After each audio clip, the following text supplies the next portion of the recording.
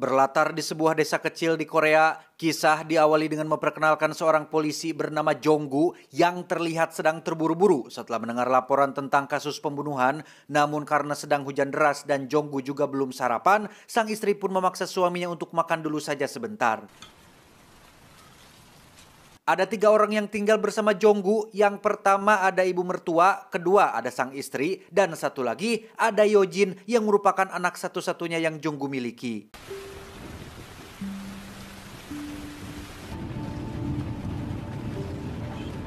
Selesai sarapan, Jonggu langsung bergegas menuju tempat kejadian perkara di mana si pelaku yang memiliki kulit berentusan dan tidak karuan pun diketahui telah menghabisi istri dan anaknya sendiri dengan cara ditikam, dimasukkan ke dalam karung dan diseret ke rumahnya sendiri.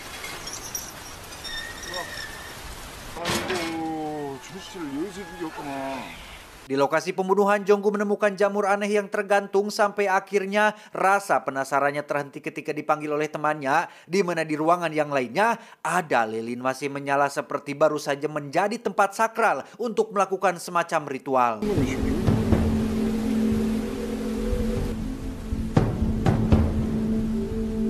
Beralih ke hutan yang tak jauh dari desa tersebut, seorang pemburu terlihat sedang akan mengambil rusa hasil beruannya namun karena terlalu berat, ia pun terjatuh ke bawah tebing hingga tak sadarkan diri.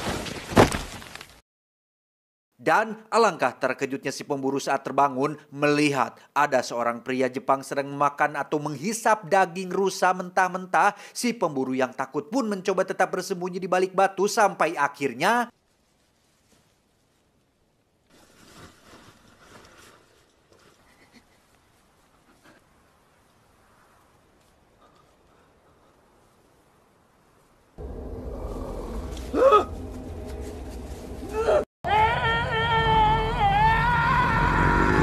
Beberapa hari kemudian cerita tentang kemunculan orang Jepang itu pun menyebar sampai keluarga desa termasuk rekan Jonggu sendiri yang menceritakan tentang sebuah teori bahwa desa ini menjadi desa terkutuk gara-gara kemunculan pria Jepang tersebut. Bahkan kejadian beberapa hari yang lalu terkait seorang suami menghabisi keluarganya adalah disebabkan oleh si pria Jepang itu juga. Dan ya, situasi pun berubah menjadi tegang saat lampu tiba-tiba mati disertai suara guluduk petir yang menyambar dan tiba-tiba... Ya, mereka dikejutkan oleh sosok penampakan wanita yang entah gelandangan atau hantu beneran. Namun saat mereka cek keluar, sosok itu sudah tidak ada dan mungkin saja memang benar itu hanyalah gelandangan yang tak sengaja lewat di depan kantor polisi mereka.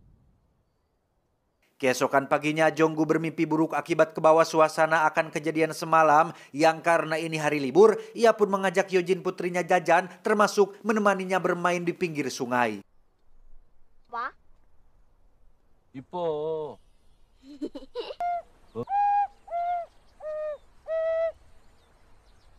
Malam harinya kejadian mengerikan kembali terjadi saat satu keluarga maut dalam sebuah insiden kebakaran di mana satu-satunya korban yang masih selamat adalah seorang wanita yang saat ini sedang mengamuk. Bahkan momen menegangkan pun tiba-tiba terjadi saat salah satu mayat sempat hidup lagi dan menyerang Jonggu beserta dengan si wanita yang mengamuk itu juga ikut menyerangnya.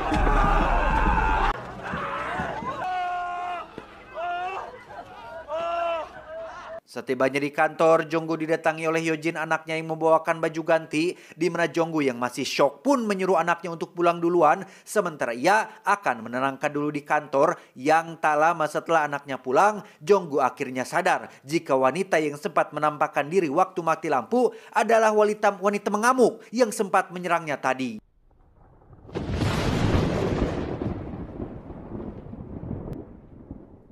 Keesokan paginya si wanita mengamuk itu pun ditemukan sudah bundir, ngutnak diri sehingga tak ada lagi yang tersisa dari keluarga tersebut selain rumor yang membuat warga semakin yakin bahwa desa ini sedang mengalami kutukan akibat kemunculan si pria Jepang.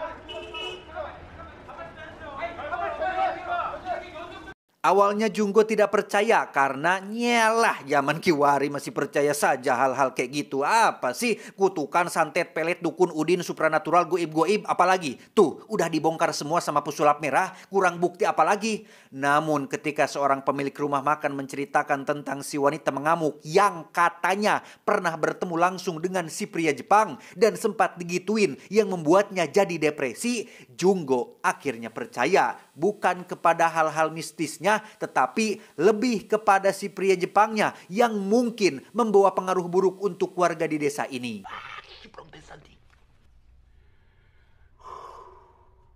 Siangnya, Junggo dan si rekan terlihat sedang menjaga tempat kejadian perkara tepat saat muncul seorang wanita bernama kita panggil saja Mayang yang melempari mereka dengan batu-batu kecil. Sempat dikira ODGJ, Mayang ternyata adalah gadis waras yang belum lama tinggal di desa ini. Ia mengaku menyaksikan dengan mata kepala sendiri seluruh kejadian tersebut bahkan sebelum kebakaran terjadi. Namun yang membuat Junggo terkejut adalah Mayang juga ber pun pernah bertemu dengan si pria Jepang beberapa kali dan dengan yakin mengatakan jika si pria Jepang itulah dalang dibalik semua yang terjadi akhir-akhir ini.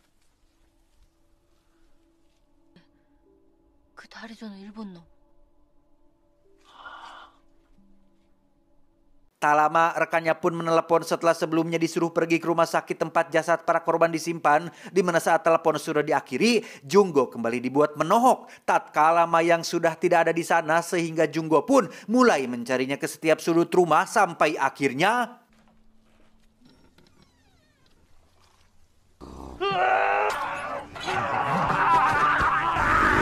Ya, Junggo ternyata hanya mimpi buruk, mimpi buruk yang sangat aneh karena sosok si pria Jepang terlihat sedang menghisap darah seseorang, tak ingin ambil pusing dengan mimpinya yang dianggap hanya bunga tidur, Junggo justru malah khawatir setelah istrinya memberitahu tentang Yojin anak mereka yang sedang mengalami demam tinggi.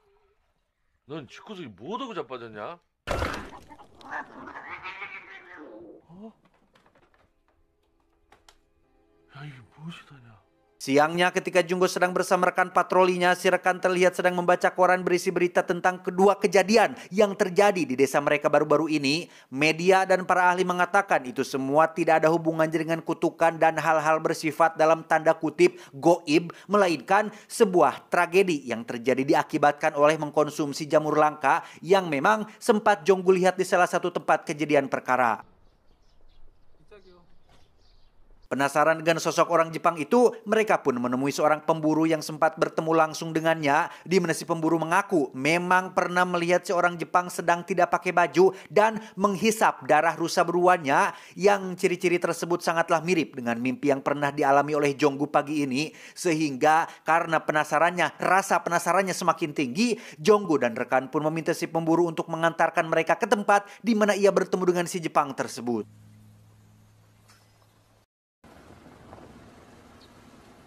Sampailah mereka di hutan yang katanya menjadi tempat tinggal si pria Jepang karena jalurnya tidak bisa dilalui kendaraan. Jonggu dan Serkan pun terpaksa berjalan kaki sesuai arahan dari si pemburu yang setelah dilihat-lihat hutan ini memang agak sedikit menyeramkan. Apalagi setelah turun hujan secara tiba-tiba membuat si pemburu menjadi ketakutan dan berniat untuk pulang. Tapi sebelum itu ia memberitahu tentang letak rumah si pria Jepang yang katanya sudah tidak jauh dari posisi mereka saat ini.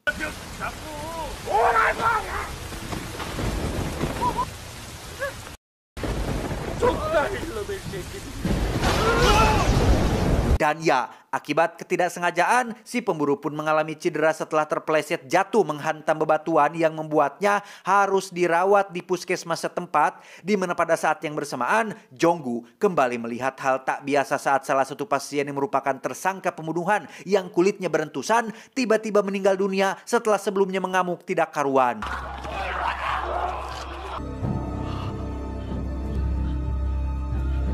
Tak cukup sampai situ saja, saat Jonggu baru pulang ke rumah, ia langsung disambut oleh pemandangan ketika Yojin anaknya mengamuk tak terkendali, entah disebabkan oleh demam tinggi atau ada faktor lain. Yojin mengatakan bahwa ia sempat melihat seorang pria tua yang menggedor pintu dan mencoba masuk ke dalam rumah mereka.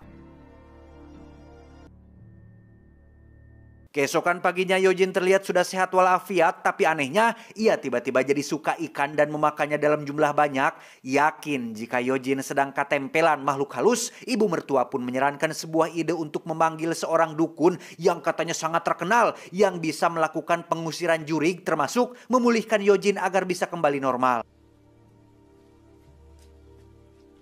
Kembali ke pekerjaannya, Jonggu yang masih penasaran dengan si pria Jepang itu pun mengajak rekannya untuk kembali pergi ke hutan di mana bahkan sudah membawa seorang pendeta muda yang masih magang sebagai penterjemah yang mengaku bisa sedikit berbahasa Jepang meskipun hanya seputaran ikeh-ikeh kimochi saja. Setelah melewati hutan dan perbukitan yang kemarin, sampailah Jogu dan kawan-kawan di rumah kecil yang menjadi tempat tinggal si Jepang selama ini. Yang karena tidak ada si Jepang di sana, mereka pun masuk begitu saja untuk memeriksa yang alangkah terkejutnya mereka saat menemukan beberapa benda dan barang tidak biasa. Termasuk satu ruangan penuh dengan foto para korban sebelum dan setelah meninggal dunia. Entah apa alasan si Jepang mengumpulkan foto-foto para korban, Junggo sendiri menemukan ruangan lain yang dipenuhi dengan lilin dan semacam barang-barang yang biasa dipakai ritual tepat saat si pendeta digigit anjing peliharaan milik si Jepang sehingga... Beruntung si pria Jepang pulang dan berhasil menenangkan anjingnya. Layaknya seorang pembunuh berdarah dingin, si Jepang pun masuk ke dalam rumah dan mengecek barang-barang miliknya yang karena takut dan merasa tak enak sudah masuk tanpa izin. Junggo dan kawan-kawan pun langsung pulang saat itu juga.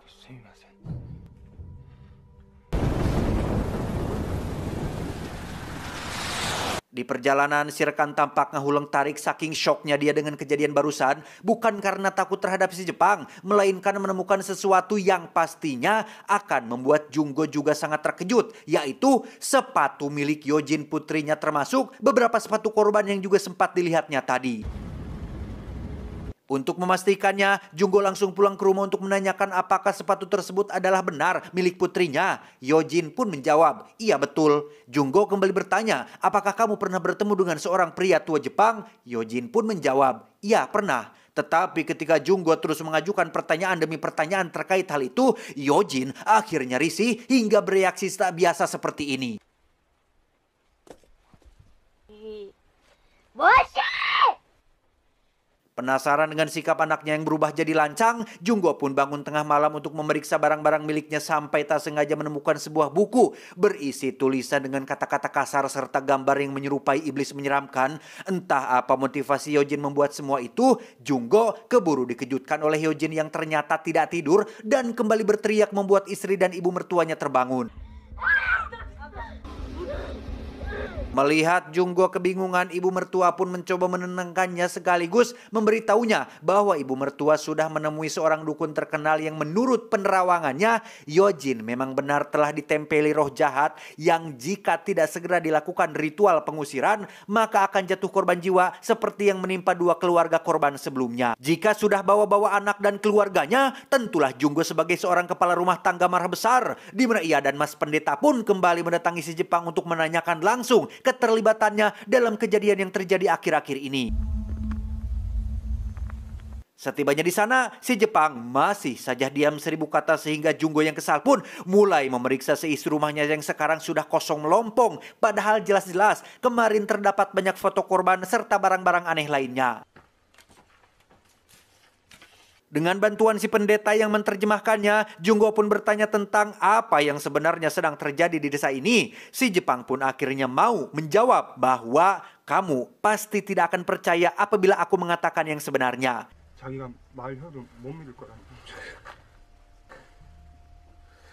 Mendengar jawaban yang ambigu itu, Junggo semakin kesal sehingga secara tak terkendali ia pun mulai merusak rumahnya sampai akhirnya si pria Jepang melepaskan anjing peliharaannya dan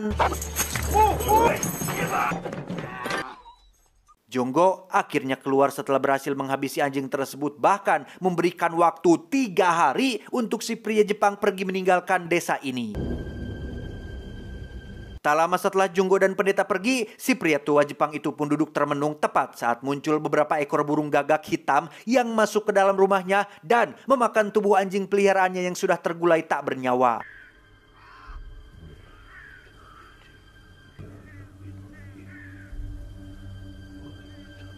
Keesokannya, Junggo yang masih tertidur pun tiba-tiba dikejutkan oleh suara teriakan istrinya yang menemukan anjing si pria Jepang tergantung di depan rumah mereka yang karena kaki Junggo terluka akibat digigit anjing kemarin, ia pun tak bisa melihat apa yang sedang terjadi saat ini. Takut kondisinya semakin memburuk, Junggo pun diantar istri dan mertua ke klinik akupuntur yang lumayan jauh dari rumahnya, sementara Yojin dititipkan kepada seorang nenek-nenek tetangga yang bersedia untuk menjaganya. Tak lama setelah akupunturnya selesai, Junggo dan keluarga pun bergegas pulang karena takut terjadi apa-apa dengan Yojin dan benar saja nenek tetangga ditemukan sudah maut bersimbah getih setelah Yojin berkali-kali mentojosnya peso dapur ke perut nenek tersebut. Beberapa saat berlalu, para polisi pun datang ke rumah Junggo termasuk keluarga si nenek tetangga yang merebesar atas kelakuan Yojin yang di luar batas. Namun karena ia masih di bawah umur, para polisi pun tidak bisa menangkap ataupun mempidanakannya.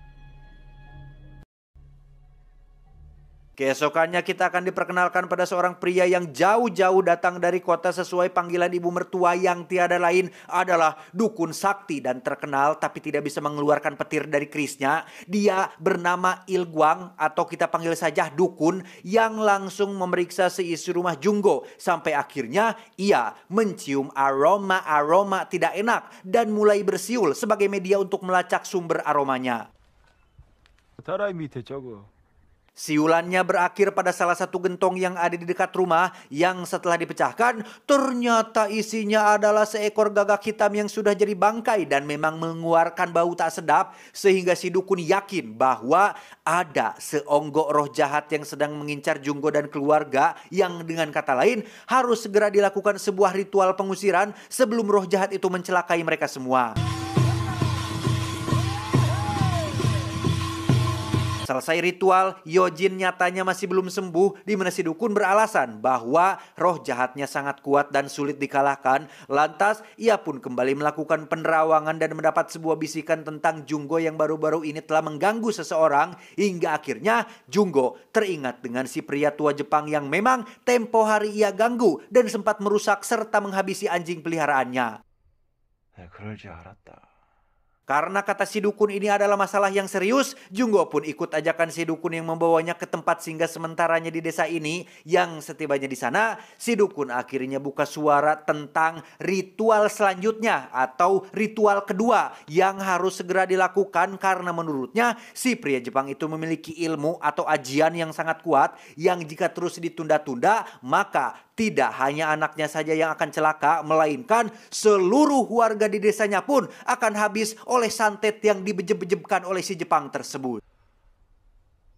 Nah, masalahnya, tebak apa? Junggo diminta untuk menyiapkan uang sebesar 10 juta won atau sekitar 100 juta rupiah lebih untuk melakukan ritual pengusiran kedua takut Junggo berpikiran negatif, si dukun pun langsung menjelaskan rincian untuk apa saja uang sebanyak itu dibutuhkan, seperti menyiapkan pernak-pernik, merental alat musik tradisional, menyewa beberapa asisten, membeli menyan, wajit opak, lauk jair, lapis, ayam potong, dan lain sebagainya yang memang katanya sangat diperlukan untuk mendukung kelangsungan acara ritual tersebut.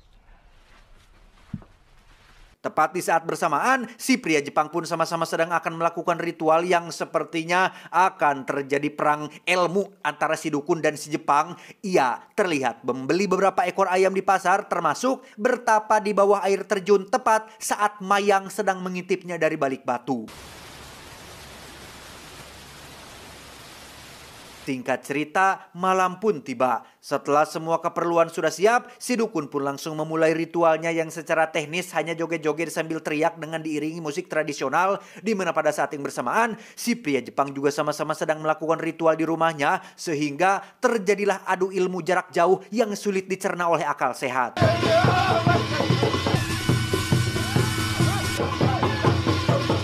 Selama ritual berlangsung, Yojin tampak kesakitan membuat Junggo dan istrinya kasihan. Sejak awal, si dukun sudah memperingatkan agar Junggo dan siapa pun dilarang mengganggu jalannya ritual. Namun melihat anaknya semakin lama semakin menderita membuat Junggo akhirnya tidak tahan dan mengamuk tidak karuan hingga membuat ritual pengusirannya gagal total.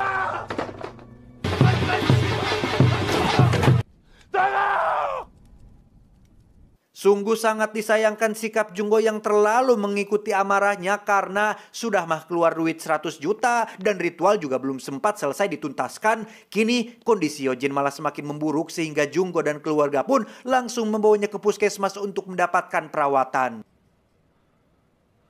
Beralih ke si pria Jepang yang seusai melakukan ritual tadi, ia pun mengalami demam tinggi persis seperti yang dialami oleh Yojin dan para korban yang sudah tiada. Bahkan ketika ia mau tidur, muncullah sosok mayang yang lebih mirip seperti hantu lewat di depan rumahnya tapi tidak melakukan apa-apa. Kembali ke Jonggu yang terlihat mendatangi pendeta senior yang merupakan gurunya si mas-mas pendeta yang masih magang untuk menanyakan informasi terkait si dukun Ilguang apakah beneran dukun atau hanya tukang tipu. Beliau memang sempat mendengar rumor yang mengatakan jika dukun Ilguang sebenarnya adalah seorang profesor, ada juga yang mengatakan ia adalah seorang mantan biksu Buddha, tapi itu hanya rumor saja dan pendeta senior tidak dapat memastikannya.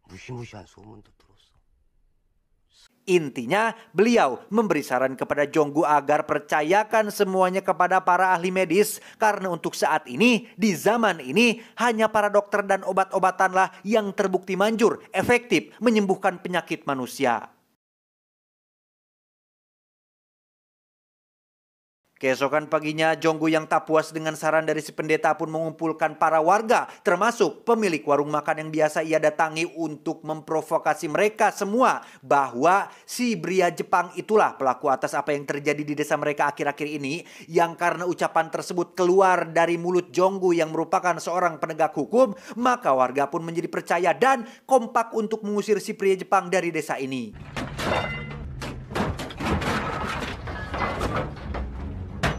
Setibanya di lokasi, mereka langsung menghancurkan rumah si pria Jepang tanpa keberadaannya di sana. Entah ke mana perginya si bebenguk itu, Jonggu tak sengaja menemukan foto salah satu warga desanya yang diketahui mengalami penyakit kulit persis seperti para korban sebelumnya. Dan alangkah terkejutnya Jonggu dan kawan-kawan saat warga tersebut tiba-tiba muncul seperti zombie dan menyerang mereka semua.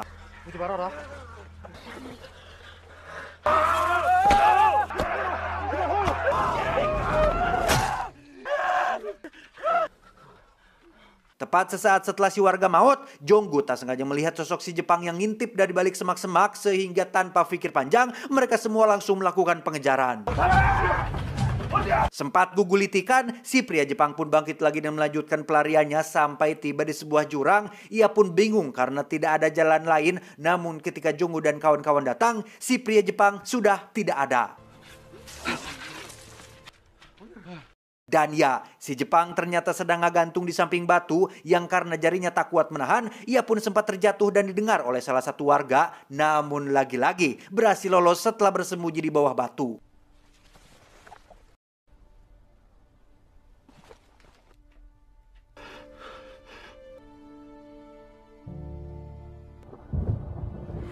Tepat saat hujan deras, mereka pun pulang dengan kekecewaan karena gagal mendapatkan isi Jepang di mana saat Junggo sedang menelepon istrinya untuk menanyakan kabar anak mereka, tiba-tiba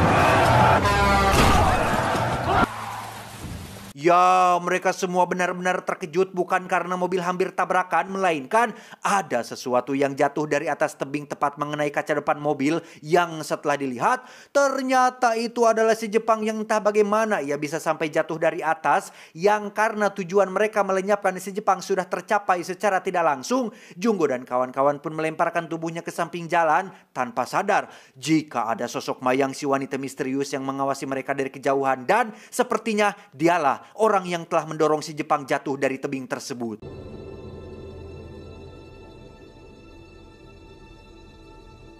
Junggo kembali ke rumah tepat saat Yojin dinyatakan sudah sembuh sehingga Junggo pun semakin yakin bahwa kesembuhan anaknya disebabkan oleh karena si pria Jepang yang sudah mati.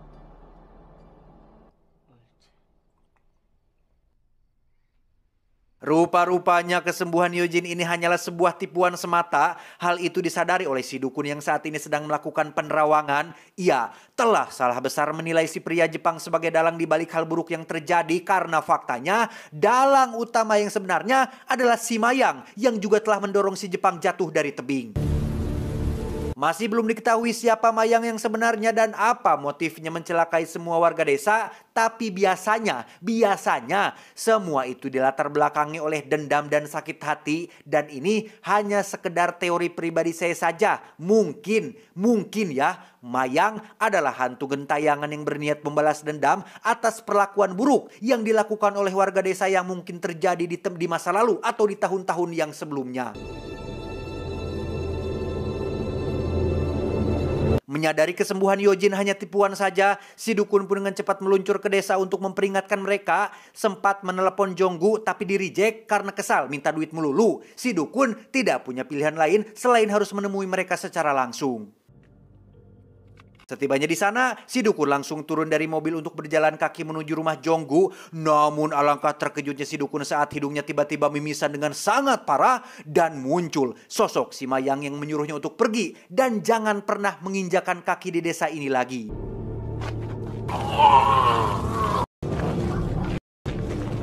Dengan penuh ketakutan, si dukun pun kembali ke tempat singgahnya dan mulai mengkibas-kibaskan kemoceng ke tubuhnya untuk membersihkan energi negatif. Tapi tiba-tiba... Ya, seekor gagak kita masuk ke rumahnya persis seperti yang terjadi kepada si Jepang waktu itu. Sehingga setelah menyadari bahwa nyawanya sedang terancam, si dukun pun memilih kembali ke kota sebelum semuanya terlambat. Dan lagi, si dukun mengalami fenomena aneh ketika ia diserang oleh banyak sekali serangga yang nyaris membuatnya kecelakaan yang faktanya itu tidak lebih dari hanya halusinasi atau permainan pikiran yang dibuat oleh si Mayang.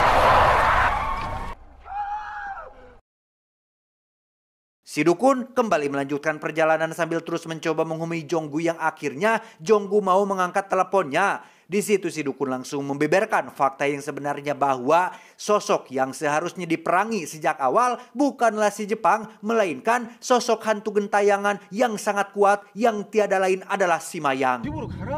Jonggu pun bertanya, lah lantas siapa si pria Jepang itu Kun? Dukun pun menjawab, kemungkinan besar si pria Jepang itu adalah seorang dukun sama seperti dirinya, hanya membantu warga desa melawan kekuatan jahat si Mayang yang pada akhirnya nyawanya pun melayang setelah Mayang tidak suka dengan si pria Jepang yang terus ikut campur dalam urusannya.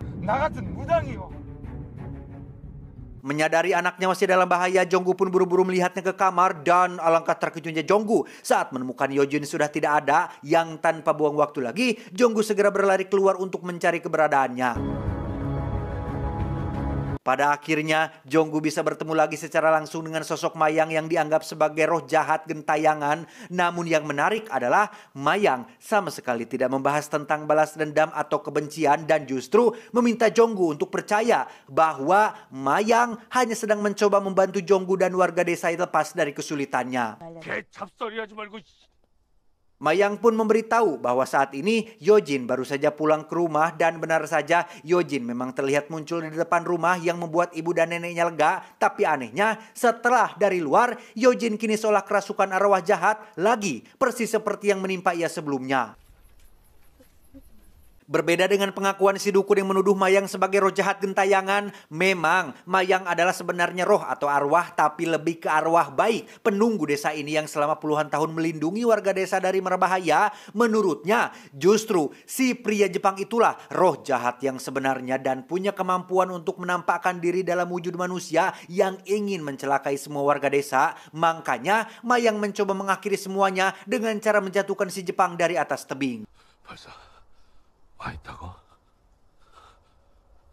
Karena pada dasarnya si pria Jepang adalah arwah atau makhluk halus atau dedemit. Ia tidak bisa mati hanya dijatuhkan saja. Dan saat ini si Jepang sudah berhasil merasuki tubuh Yojin yang baru saja pulang ke rumah. Yang jikalau Jonggu pulang ke rumah sebelum ayam berkokok tiga kali, maka celakalah mereka semua. Mendengar penjelasan Mbak Mayang, Jonggu pun jadi bingung. Jangankan Jonggu, kita saja yang nonton jadi bingung mana yang benar, mana yang salah, si Mayangkah atau si Jepangkah. Alhasil daripada hanya ngajedog atau berdiam diri saja dan menunggu ayam berkokok tiga kali yang entah aturan dari mana itu, Jonggu pun memutuskan untuk pulang ke rumah saat itu juga.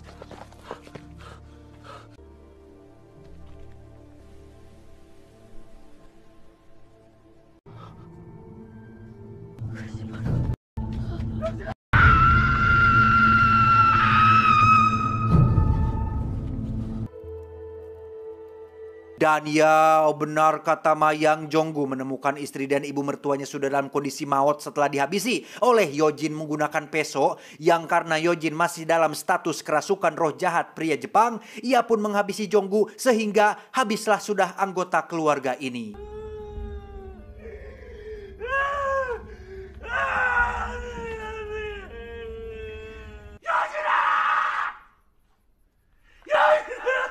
Tepat di saat bersamaan, Mas Pendeta muda yang belum tahu apa yang sedang terjadi saat ini pun terlihat sedang meminta petunjuk untuk bagaimana menghentikan kejadian buruk di desanya. Sampai akhirnya, Mas Pendeta pun teringat dengan kediaman si pria Jepang dan memutuskan pergi ke sana sendirian berharap mendapatkan petunjuk tentang apa yang sebenarnya sedang terjadi.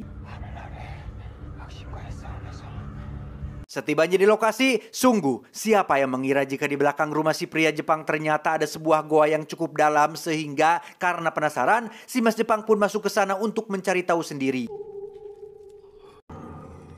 Dan ya, alangkah terkejutnya Mas Pendeta saat melihat si pria Jepang masih hidup Persis seperti yang dikatakan oleh Mbak Mayang, si Jepang pun akhirnya ngaku sendiri bahwa ia sebenarnya bukan manusia melainkan iblis jahat yang sengaja dikirim oleh seseorang untuk menebar teror di desa ini. Di mana si Jepang akhirnya menunjukkan wujud aslinya yang membuat Mas Pendeta ketakutan dan Anda sudah pasti bisa menebak seperti apa nasib dia selanjutnya.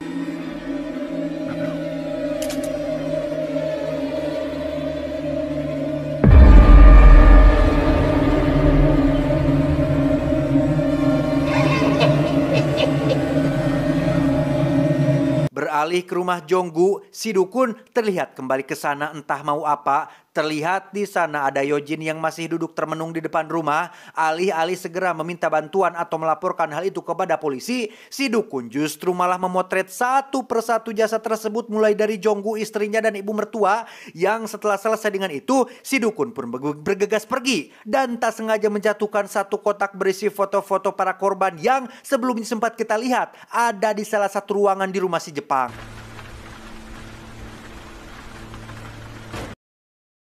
Pagi tiba, si pria Jepang terlihat sudah berubah kembali dalam wujud manusianya. Selesai menghabisi Mas Pendeta, kini ia akan beralih ke desa lain untuk melakukan teror yang sama dan sedang menunggu jemputan yang pastinya akan membuat Anda sangat-sangat-sangat-sangat terkejut karena ternyata orang yang ia tunggu itu adalah tidak lain dan tidak bukan si dukun yang merupakan satu komplotan yang memang sejak awal bersekongkol untuk menebar kekacauan sekaligus mengambil ke keuntungan dari orang-orang yang mereka teror. Terakhir, kita akan melihat Mayang hanya berdiri terdiam menyaksikan mereka berdua pergi sebagai roh atau hantu baik penunggu desa. Ia jelas telah gagal melakukan tugasnya Tan, tak ada yang bisa ia lakukan selain harus pasrah dan kalah oleh si dukun dan juri kukutannya.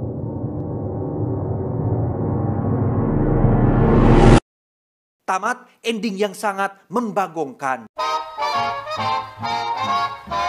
Nah, es itulah alur cerita dari film The Wailing. Jelas kalian harus nonton filmnya secara langsung karena uh gimana ya horornya itu bukan hanya jump scare jump scare murahan tapi lebih ke psikologi kita gitu kayak masuk gitu ke alur cerita nanti asli kalian wajib pokoknya wajib nonton filmnya secara langsung Nah, secara garis besar, si pria Jepang ini bisa dikatakan adalah iblis atau di kita mah dedemit kali ya, yang memang suka mengisap darah manusia, sedangkan si dukun hanyalah memang manusia biasa yang mencari keuntungan. Contohnya ketika ia menyuruh Jonggo menyiapkan uang 10 juta won atau sekitar 100 juta rupiah lebih, yang padahal mah coba atuh lihat sendiri sama SS semua, persiapan ritual seperti itu mah kayaknya nggak nyampe 100 juta mah, lebihnya pasti masuk kantong pribadi. Jelas ini bukan kali pertama mereka melakukan itu, pasti sudah banyak desa-desa yang mereka datangi dan banyak jatuh korban. Jadi mereka tuh ya udah punya bagian atau tugasnya masing-masing.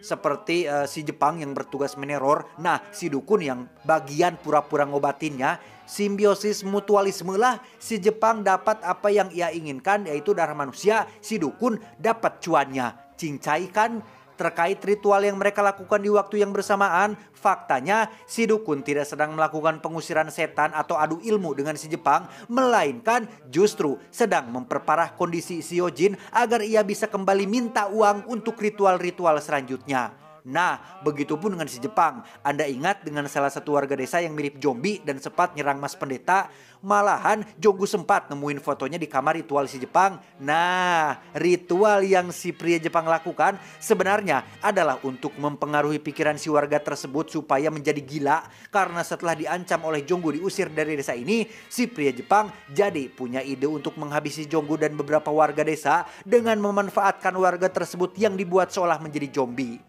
Clear ya semuanya, SS semua teman-teman. Sudah jelas ya semuanya. Mohon maaf kalau ada yang kelewat dan tidak detail. Puyeng juga eh saya astagfirullahaladzim. Mana panjang lagi filmnya buset.